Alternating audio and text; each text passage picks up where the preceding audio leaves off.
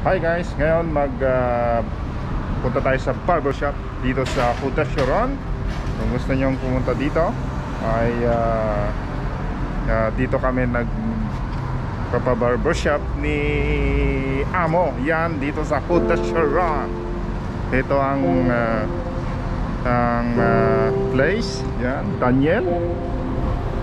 Here is yan. oh. Thank you.